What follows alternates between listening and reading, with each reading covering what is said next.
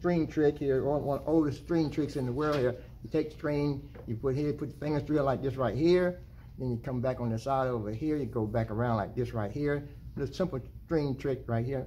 Over it, it, it, and then, and then see all that, then just let go my thumb right here, and then just pull. See that? Simple uh, string trick I learned as a kid. Only thing is take a string here, okay? You put it through your fingers just like this right here. And then you just go around your thumb here and come back around doing the same thing.